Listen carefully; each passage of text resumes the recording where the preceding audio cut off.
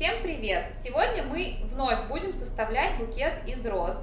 Но если вчера мы вам его показывали в миниатюре, то сегодня мы соберем более объемный букет и покажем несколько вариантов формы букета из роз, начиная от 25 штук.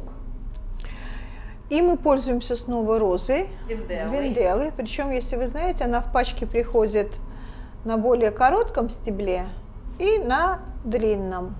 Если у вас букеты из большого количества роз, то мы вам советуем в центр ставить розы на короткой ножке, потому что когда вы будете выходить уже за больший диаметр, вам потребуются розы на более длинной ноге. Поэтому мы всегда сортируем розу на короткую и длинную ногу. Да, вот сразу смотрите, они у нас стоят в двух вазочках. И сегодняшний букет у нас будет именно голова к голове, но, соответственно, разные формы выкладки этих роз. Выкладываем мы, как всегда, в спиральной технике. При этом я хочу сказать, что если у вас роза в центральной части обладает большим количеством листьев, то для того, чтобы получилась голова к голове, иногда надо снимать эту листву. Потому что когда вы будете выходить уже за больший диаметр, то этих листьев будет настолько много, что они не дадут возможность смыкаться вашим розам. То это очень важно. Но у винделы, видите, нет такой густой листвы, поэтому можно оставить ее такую, как есть. И плюс я еще хочу сказать, что иногда это не всегда эстетично смотрится, потому что листья внутри начинают э, забиваться и ломаться. То есть некоторые могут быть уже повреждены при сборке, при момент, когда они плотно складываются. Поэтому действительно иногда листву стоит проредить немножечко, особенно у центральных роз. И, конечно же, собираете ваши цветы исключительно на весу. Пожалуйста, не нужно собирать букеты на столе, вот так вот каждый раз, обстукивая ваши бутоны об стол, да, цветочки вы ставите снова, смотрите, чтобы все цветочки у вас были из круга. Ну и собираем, как всегда, в спиральной технике. И вот посмотрите, как красиво вот роза именно с широким бутоном ложится друг к другу, да, то есть не берите розу в такие букеты, у которых бутон вытянутый и который сужается кверху, то есть таким бокальчиком идет. Не всегда это будет красиво смотреться, потому что, чтобы получить эту идеальную поверхность шарика, лучше выбирать э, широкий бутон. Очень помню, раньше была популярна роза красная, Red Naomi. Вот она идеально складывалась в шарик из роз. Red Naomi, э, белая роза, пионовидные розы, естественно, очень красиво складываются. Мы именно поэтому взяли вам Винделлу, потому что она тоже очень красиво Э, выкладывается, нету пустот. И если ваша роза, если у вас заказан, например, букет невесты только из роз, то, пожалуйста, на букет невесты никогда не берете розу с высоким бутоном, потому что тогда у вас будут всегда пустоты между этими розами, потому как спираль вы должны будете взять гораздо выше для свадебного букета, и тогда они никогда у вас не лягут без пустот. Вот это тоже очень важный момент. А сейчас ты какую форму сейчас, э, сейчас у нас обычно я хочу выложить по прямой. Вот первый возможный вариант букета из роз, когда вы выкладываете розы исключительно по прямой, то есть это в одной плоскости, да, вот. То есть ты не, не закругляешь? Не закругляем. То есть один из вариантов это в одной плоскости, и тогда букет этот будет казаться по диаметру больше, потому что вы же понимаете, если вы начнете заводить ваши цветочки, то диаметр будет немножечко меньше, но форма будет, соответственно, другой. Вот видите, я не убрала, посмотрите, да, и вот мне уже зелень немножечко мешает, вот, представить, да, вот мне уже хочется какие-то листья непосредственно убрать. Вот, допустим, вот эти, которые очень сильно топорщатся, это то, о чем я вам говорила. Потом, конечно же, если вы сомкнете все это в упаковке, понятно, что все это будет уже выглядеть по-другому, но... То есть, если у вас большой букет из роз, то вы оставляете буквально, оставляете зелень на последних двух-трех рядах. рядах, да. И тогда этого будет вполне достаточно. Ты сейчас 15 берешь. И, конечно же, смотрите через зеркало, смотрите форму, чтобы был кружок, да, вот я, к сожалению, зеркало, ну вот вы так, и в руке сможете поправлять, соответственно, поправляете вашу розу, не бойтесь.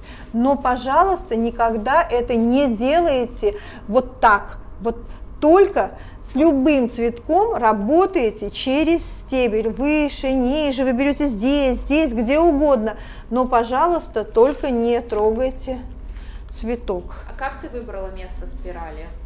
Место спирали, потому что я знала, что мы будем складывать из 25-30, то, соответственно, вот где-то она будет вот здесь. Потому что если я возьму повыше, вот уже вот начнется вот перенапряжение, соответственно, в бутонах. Смотрите, мы продолжаем подкладывать розы, чтобы у нас получилась форма круга. И если вы, вот вы посмотрите, да, вот я перехватила, вот здесь у нас еще цветов не хватает. Если вы видите, да, у нас идеального круга пока не получилось.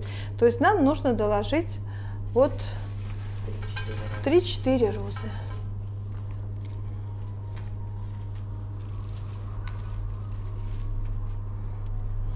Сюда мы подкладываем. Старайтесь, конечно, тоже. Я понимаю, что очень сложно делать выборку роз, но все-таки, чтобы у них были более или менее прямые стебли, тогда вам будет проще выкладывать этот идеальный круг. Мы выложили ваш букет, и посмотрите, форма у нас практически почти плоская. И вы обязательно на ваш букет еще и на ваши розы должны посмотреть вот в этой плоскости. Вот таким образом. У нас в итоге получилось здесь 27 розочек. Нам понадобилось. Но вообще всегда у нас есть такая проблема, что нам хочется цветов, букет все больше и больше, и роз тоже постоянно хочется подставлять все больше и больше. Не знаю, есть ли у вас точно так же, что когда вы составляете букет, вам не хватает роз? Вот э, Подскажи, пожалуйста, как, кстати, правильно рассчитать, чтобы роз хватило на круг, чтобы не было такого, чтобы просили из 25 составить, окажется, что все дырка, дырка, еще и Ну, еще. в вот. принципе, да, возможны варианты, потому что если вас просят какое-то конкретное количество цветов, то это не обязательно, что вы выложите вот такой сплошной круг. Может быть, где-то и быть и небольшое пространство между розами. Просто тогда постарайтесь соблюдать это пространство как бы практически идеально по внешнему диаметру. То есть все равно поправлять, да, розу по букету? Да, да, совершенно. Чтобы у вас не было так, что здесь очень большое, допустим, пространство, а здесь у вас цветы стоят очень плотно.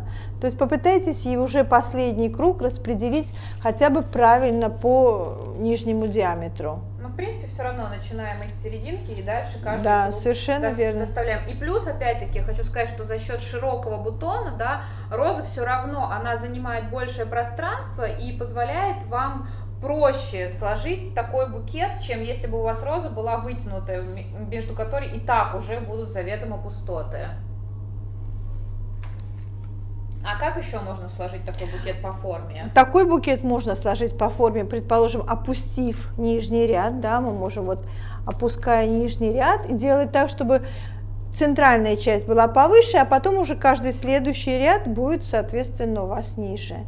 И тогда у вас получится, можно сделать крутой разворот, если у вас большое количество цветов. Если все-таки небольшое количество цветов, то лучше выкладывать либо по плоскости, либо с небольшим Наклон. наклоном, да, для того, чтобы не было сразу вот такого резкого перепада, как в русской горке. Мы сейчас немножечко ослабили наш анкор в точке сборки и хотим вам показать, э, как можно закруглить и чуть опустить, опустив нижний край у букета. Да, то есть мы оставляем центральную часть, да, предположим, да, и вот так вот чуть-чуть начинаем опускать наши цветочки, да, для того, чтобы вам было понятно, что можно создать уже и чуть-чуть другую форму. Мне кажется, что более круглая форма именно с опущенным краем смотрится более романтично. Мне не очень нравится по прямой такие заостренные. Как-то шарик из роз это Ну, шарик Более из роз, да, это букет. как более классический вариант. Поэтому, конечно, вы можете. Опять все делаете исключительно через стебель. Ну, соответственно, вы должны ослабить таким образом, чтобы не поранить стебель вашего цветка. вот уже такой грибочек вырисовывается. То есть вы чуть-чуть опускаете. очень осторожны, да, для того, чтобы не сновать стебелек. Потихонечку опускаете ваши розочки. Главное, что не трогаете центр, именно край, закругляете. Да, вы как бы закругляете. И уже получаете совсем другую форму. Это, конечно, еще ни разу не букет невесты. Ну нет, конечно, букет невесты предполагает короткий стебель, то есть вы должны были уже... И другое место спирали. Да, и другое место сборки. Вот посмотрите, мы изменили несколько форму нашего букета, придав ему более овальную форму за счет того, что мы опустили два крайних ряда. Да, и сейчас мы этот букет упакуем и покажем, как он будет выглядеть в упаковке.